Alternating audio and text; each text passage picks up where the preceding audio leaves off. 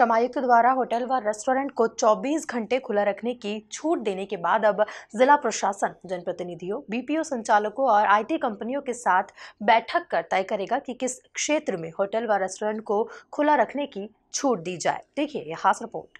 Startup कंपनियों की मुख्यमंत्री के साथ हुई बैठक के दौरान यह मांग उठी थी कि इंदौर में कुछ होटल व रेस्टोरेंट को 24 घंटे खुला रखने की अनुमति दी जाए, ताकि विदेशी कंपनियों के साथ काम करने वाले आईटी कंपनियों व स्टार्टअप के कर्मचारियों, अधिकारियों को रात में भी खान पान की सुविधा मिल सके।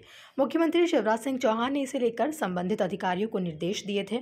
कलेक्टर इंदौर ने श्रम आयुक्त को होटल व रेस्टोरेंट को चौबीस घंटे खुले रखने की अनुमति जारी करने के लिए पत्र लिखा था। श्रम आयुक्त ने पिछले दिनों रात में 12 बजे के बाद होटल व रेस्टोरेंट को खुला रखने की पाबंदी हटा दी है। अब इंदौर जिला प्रशासन आईटी कंपनी बीपीओ संचालकों के साथ बैठक आयोजित करेगा, जिसमें जनप्रतिनिधियों के अलावा शहर के प्रमुख बाजारों के पदाधिकारी भी मौजूद रहेंगे।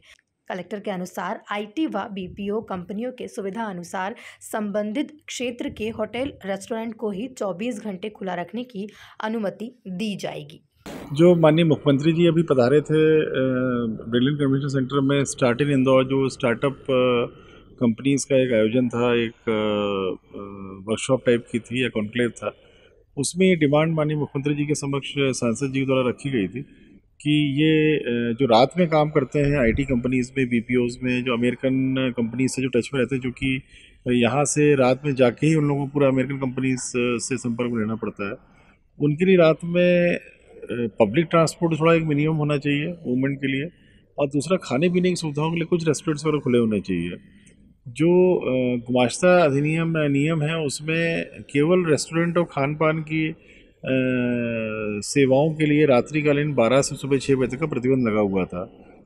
मुख्यमंत्री जी के निर्देश पे फिर हमने प्रस्ताव भेजा था श्रम आयुक्त महोदय को। और उनके यहाँ से गवर्नमेंट मूव हुआ और नोटिफिकेशन हो करके जो केवल दो एक्टिविटीज़ जो प्रतिबंधित थी, उसको भी गवर्नमेंट ने रिलैक्स कर दिया है। माननीय सांसद जी से चर्चा हुई थी, इसमें बैठ के जितनी भी आईटी कंपनीज़ हैं और जितने बी हैं, संचालक हैं और जो स्टार्टअप कंपनीज़ हैं, इनके साथ बैठ के एक बार चर्चा करेंगे किन क्षेत्रों में इनको ज़्यादा आवश्यकता है।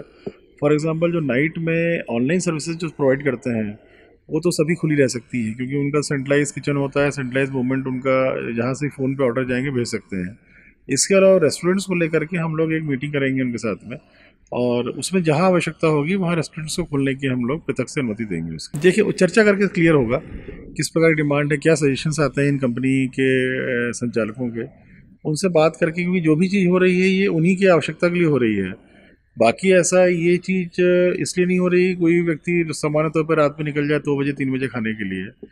जहाँ पर इनकी डिमांड होगी और जहाँ पर डिमांड होगी, वहीं दुकान भी खुलेंगे, क्योंकि अगर दुकान भी रात भर कोई खोल रहा है और उसमें कोई ग्राहक नहीं आ रहा है, कोई कॉल नहीं आ रहा है, कोई ऑर्डर प्लेस नहीं हो रहा है तो वो भी क्यों अपना खर्चा बढ़ाएगा रात में खोल करके? दुकानें भी उसी जगह पर खुलेंगी जहाँ पर ऑर्डर्स आएँगे। तो वही बस संचालकों से बात करके जो आईटी कंपनीज़ के हैं स्टार्टअप्स के हैं, उसके बाद फिर निर्णय लिया जाएगा। माननीय सांसद जी बैठक लेने वाले हैं, उसमें तय होंगी सब चीज़ें। जानकारी के अनुसार ये बैठक आगामी शुक्रवार को आयोजित की जा सकती है, जिसमें सांसद शंकर लालवानी के अलावा कुछ विधायक बीपीओ व आईटी कंपनी के संचालक और छप्पन दुकान बाज़ार एसोसिएशन सहित कुछ प्रमुख होटल व रेस्टोरेंट के संचालक शामिल होंगे। Bureau report MP news TV Indore.